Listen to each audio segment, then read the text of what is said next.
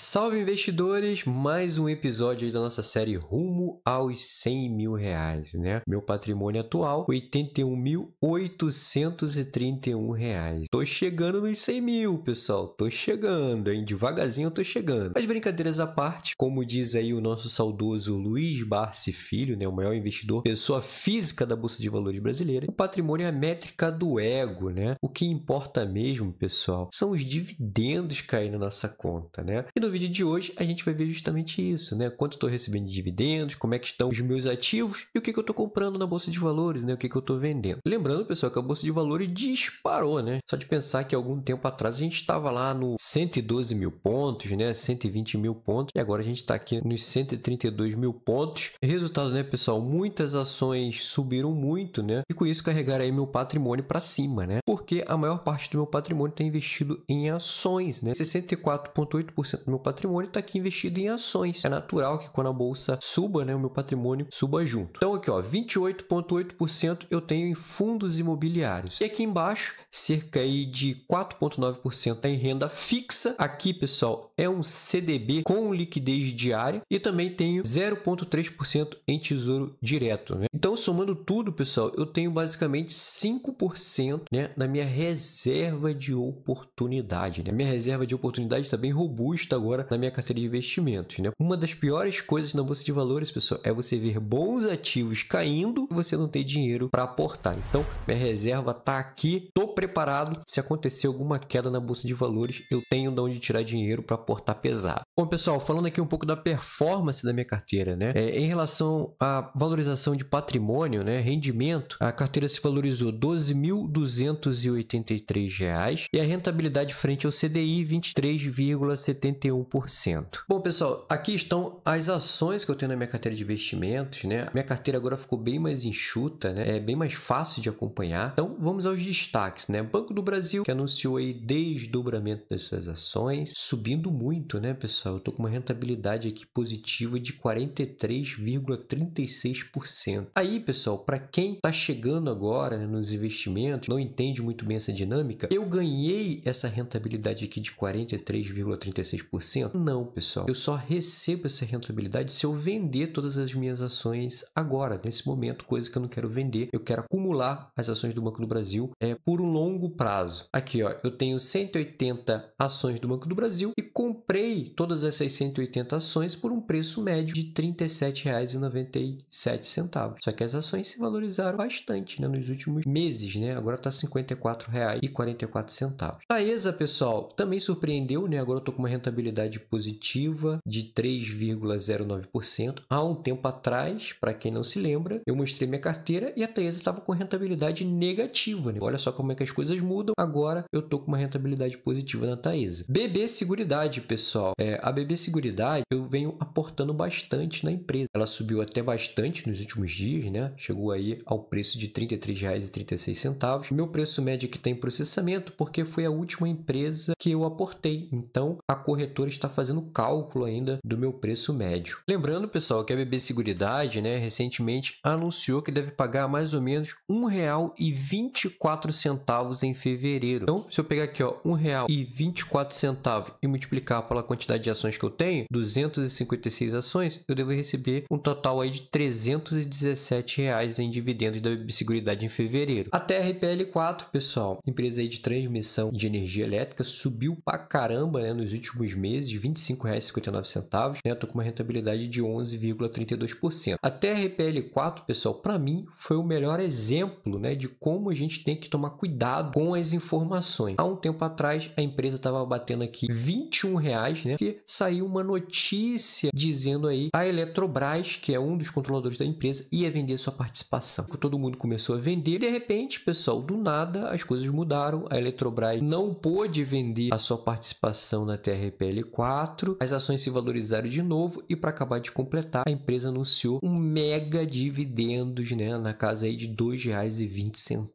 Então, quem pegou essa, esse gancho dessas notícias ruins e acabou vendendo a empresa, acabou se dando muito mal, perdeu a valorização, perdeu os dividendos e só se arrependeu, tá bom? Então, cuidado com as notícias, pessoal, muito cuidado. Santander também com uma valorização muito boa, 19,24%. Na minha opinião, as ações do Santander andam bastante caras. E aí vamos para a Caixa Seguridade, né? Muita gente anda comprando Caixa Seguridade, né? As ações subiram bastante, mas eu acredito que ainda está num preço interessante. Semig, pessoal, que caiu muito, né? Semig ao contrário, né? Eu tô com uma rentabilidade aqui negativa, menos 1,35%. Eu tô tomando esse prejuízo aqui, pessoal? Não, eu só tomo efetivamente esse prejuízo aqui se eu vender as minhas ações agora, nesse momento. Mas é justamente o contrário. Pretendo carregar a Semig para um longo prazo, gosto da empresa. A Semig vem caindo, pessoal, pelo fato da federalização, né? A empresa é do governo do estado de Minas Gerais e o Zema já anunciou que gostaria de fazer uma federalização, ceder a empresa para o governo federal. Para fechar, eu tenho aqui a Clabin, pessoal, uma mega empresa de papel celulose, né? Rentabilidade muito boa, que a Clabin anunciou aí que fez uma aquisição muito importante, né? Eles compraram, pessoal, 85 mil hectares de florestas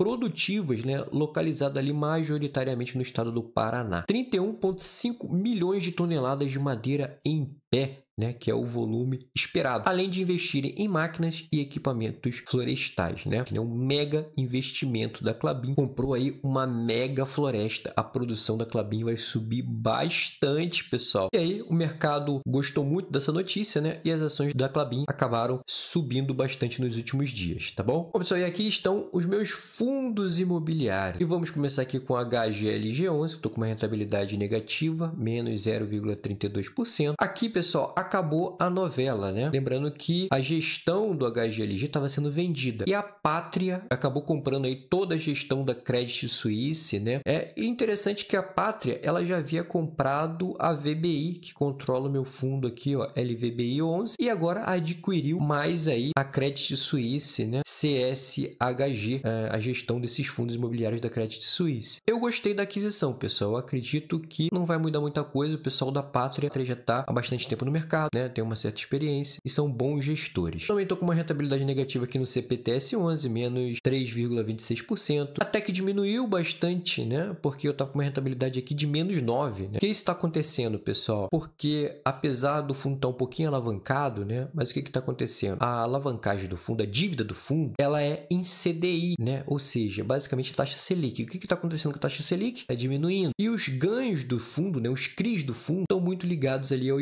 IPCA. E o que está acontecendo com o IPCA? Subindo. O fundo está tendo é, uma dívida caindo e um lucro subindo. Está aos pouquinhos se desalavancando aqui, tá bom? XPML11, um fundo de shopping da gestora XP, anunciou recentemente, pessoal, o maior provento né, da sua história, cerca de 90 centavos. Né? Aí o pessoal gostou, o fundo sobe muito. Né? O fundo anuncia um pagamento de dividendos maior, a galera gosta muito, vai lá e compra o fundo imobiliário. Um fundo aí de logística também, rentabilidade muito boa. LVBI é também é um fundo da minha carteira de logística, também estou com uma rentabilidade muito boa, cerca de 8,17%. O KNSC11 é um fundo da Quineia, né? É um fundo também de papel, de CRI da minha carteira de investimentos, né? Também tem uma gestão ali equilibrada, um pouquinho de CDI, um pouquinho de PCA, né? Fica um pouquinho equilibrado ali. Tava com uma rentabilidade muito ruim aí, menos 6, 7% de rentabilidade, agora já caiu bastante. Estou com só menos 0,77%. O RPR11 é um fundo também de papel, de CRI da minha carteira, é um fundo high yield, né? Tá? Paga bem, mas tem um certo risco, né? Tô com uma rentabilidade muito ruim aqui, menos 14%. E para fechar, o MXRF11 também é um fundo de papel, mais híbrido, né? E o fundo fez recentemente uma subscrição. Eu participei em parte, né, dessa subscrição, comprei apenas 16 cotas dentro da subscrição. Eu tinha direito aí de comprar 31, mas eu comprei somente 16, tá? Porque eu achei a subscrição um pouco cara, tá bom? E aí nem foi adicionado ainda aqui as minhas 16 cotas, tá? Por enquanto eu tô com 135 aqui, mas vai acabar sendo incorporado aqui as 16 que eu comprei, não vai demorar muito, tá bom? Bom, pessoal, então tá aqui todas as minhas notas de corretagem, né? Como vocês podem ver, eu só fiz compras esse mês de dezembro, não fiz nenhuma venda. Nas ações eu comprei BB Seguridade, ISACETEP, né, TRPL4 e um pouquinho de Clabin. Esse pouquinho foi referente a uma sobra ali, a um troco que sobrou da compra de outras ações eu investi na Clabin. Nos fundos imobiliários, eu comprei o CPTS 11, LVBI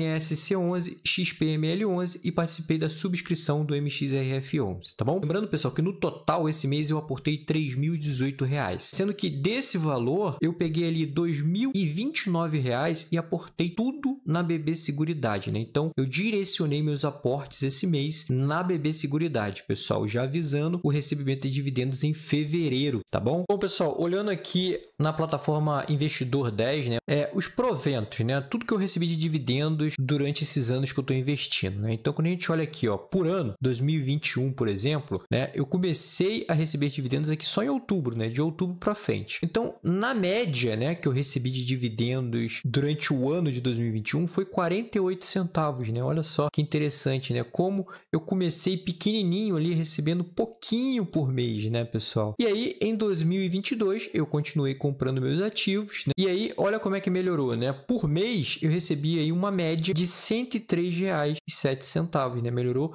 bastante de 2021 para 2022. E em 2023, pessoal, eu recebi aqui, ó, na média, por mês, R$ 316,70. Né? Na verdade, a minha meta aqui em 2023 era receber aqui, ó, 400 reais, né? Eu não consegui bater a minha meta, mas está valendo, né? Recebi aqui 316 reais por mês em 2023. Em 2024, pessoal, olha só que surpreendente, né? Eu já tô com uma média de 75 reais por mês em 2024. 2024 nem começou ainda. Como é que isso é possível? É possível porque algumas empresas que anunciaram dividendos ali em novembro, dezembro, já anunciaram que vão pagar durante o ano de 2024. Então eu já tenho provisionado para receber cerca aí de R$ 908,59 em 2024. Se eu dividir isso aqui por 12, me dá 75 reais por mês. Né? Olha só que interessante. O ano nem começou e eu já tenho dinheiro garantido para 2024. E aí, já traçando uma nova meta aqui para o ano de 2024 seria receber 500 reais, né? Chegar no final do ano, somar tudo que eu ganhei de dividendos, dividir por 12, seria aí tá numa faixa de 500 reais por mês tá bom? Vamos ver se eu vou conseguir atingir essa meta aqui em 2024, né? Então, pessoal, olhando aqui no acumulado, né? Olha só como é que cresceram os dividendos, né? Em 2022, eu recebi R$ 1.236 de dividendos durante o ano todo. 2023, olha só como é que cresceu. Já recebi R$ 3.800 de dividendos. E 2024, pessoal, ainda nem começou e eu já tenho 908 reais de dividendos para receber. Para eu receber 500 reais de dividendos aqui, né? A minha meta de 2024, eu teria que receber 6 mil reais de dividendos durante o ano todo de 2024, né? Será que eu vou conseguir bater essa meta aí? Não sei, pessoal. Vamos trabalhar, investir, reinvestir os dividendos para ver se a gente consegue chegar. Desejo um feliz Natal para todos, bons investimentos e fui.